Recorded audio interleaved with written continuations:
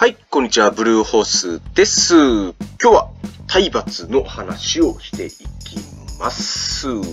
ね、やっぱり体罰は無意味だったっていうことで、まあ、悪影響の元凶でしかないですよっていうことを話をしていきます。で、まあ、最近でこそね、まあ、体罰っていうのは教育界で淘汰されてきてますよね。まあ、痛々しい事件っていうのも大阪であったりしたじゃないですか。はい。で、まあ、結構ね、僕も大阪に住んでたんで、その時は、身近で、怖いなと思ってたところなんですけどね。で、今の20代後半くらいの世代までっていうのは体罰があったんですよね。僕も小学生くらいの頃とか、まあ、高校でも一部あったっていうところなんですけどね。まあ、10年くらい前ですかね。っていうのはあったんですけどね。うん。で、その、教育をするにおいて、体罰って果たして有効なの？それとも無効なの？っていう話なんですが、いよいよ結論が出てきたっていう話なので、それをシェアしていきたいと思います。で、これに関してはテキサス大学とミシガン大学っていうのが、まあ、この合同でやった研究っていうのがあって、まあ、子供を叩くとどうなっていくのと教育の一環だって言ってビシッてこう平手打ちをするとどうなるのかっていう、まあ、典型的な体罰っていうのを、まあ、十数万人規模、16万から17万くらいの規模で調査をしました。で、悪いことをした子供に対して平手打ちをするという、まあ、そういった方法で、子供を叱り続けると一体どうなるのかっていうことを調査していったんですね。でその結果、なんとですね、こう子供を攻撃的な性格にして、反社会的な行動をとるようになると。まあ、要するにグレたりとかね、犯罪に走ってしまうっていう傾向が高くなったと。で、それから、身体的虐待ですから、メンタルが結構不安定になるんですよね。急に落ち込んだりとか、急に感触を起こしたりとかって、なんかこう、と、取り留めない、こう、なんか急にね、わーってなったりするっていう、まあそういうタイプになりやすいと。それからポジティブな影響は何かあったのと叩かれたことによって、こう人の話をよく聞くようになったりとかっていうような、まあそういった影響は一切なかったっていうことなんですね。だから子供に叩いて暴力で言うことを聞かせようと思ったところで、一切それは効果ないですってことなんですね。で、昔ながらの育て方っていうのは、じゃあ結局全く無意味だったっていう話なんですよ。で、20年前くらい、まあ、さっき10年前くらいって言ったんですけど10年、20年前くらいまでっていうのは体罰が当たり前だったと思うんですよね。ところが、結局心理学の研究で明らかになったのは、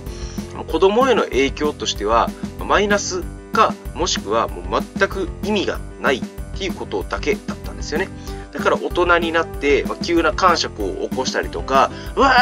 ーとかって、こう街中とかね、電車の中でわめき散らす人いるじゃないですか。そういった人たちっていうのは、もともととか、その、そあの、今いるような環境で、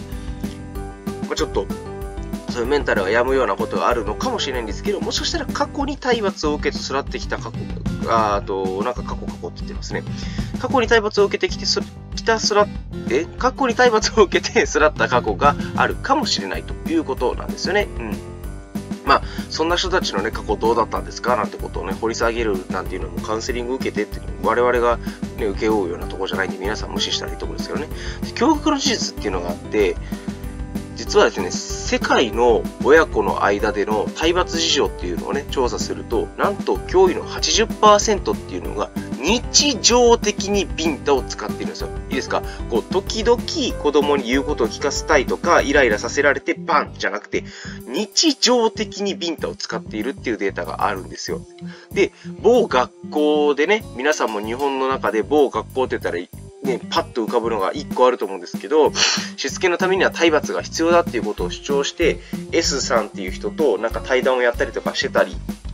してたんですけど、まあ、ああいうのはもうはっきり言って老害っていうものですね。あの、全く科学的根拠もない、まあ、悪で悪影響しかないことっていうのが立証されていく中、それが必要だ、必要だっていう全く意味がわからない主張をしている人がいるんですけどね。はい。えーまあ、そのデータを見せて、これに何の意味があったのかっていうのをぜひ教えていただきたいっていうところなんですが、で、そういった暴力による主従関係とか支配ではなくて、親側がどうするべきなのかっていうことを勉強する必要があるということなんですね。別にこれ、じゃあ子供が言うこと聞かないから、親が我慢しなさいっていう話じゃなくて、なぜそういう態度を取るんだろうっていうことをこう掘り下げていくっていう、そういった態度が必要ですっていうことですね。で、ちなみに褒め方について、もう体罰全く意味がないということなんで、子供と接するコミュニケーションの一つとして、褒め方っていうのがあるんですけど、その褒め方に関しては、中黒中室真紀子さんという方が書いている学力路経済学っていう本がおすすめです。で実は褒め方っていうのも、何でもかんでも褒めりゃいいっていうもんじゃなくって、どのポイントを押さえて褒めるかっていうことで、頑張って努力を続ける子になるのかとか、それからも怠惰で、もう、何も頑張らないっていう子になっちゃうのかっていうのが、実は決まっちゃうっていうものもあるので、何でもかんでも闇雲に褒めりゃ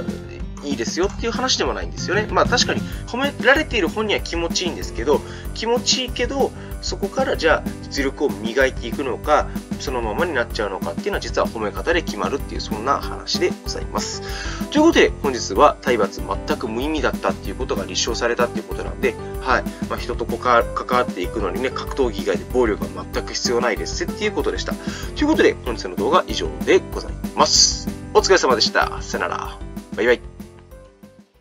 本日も動画を最後までご視聴いただきましてありがとうございましたこの動画が面白かったな役に立ったなという方はですね、ぜひグッドボタンと、それから下のチャンネル登録ボタンもお願いします。それから皆さんの強みを引き出したりとか、あるいは伸ばしていく、そんなですね、コーチングもやっています。興味のある方、セッションを受けてみたいという方は、コメント欄、もしくは、D、え Twitter の DM からお願いします。それではまた次回の動画でお会いしましょう。お疲れ様でした。さよなら。バイバイ。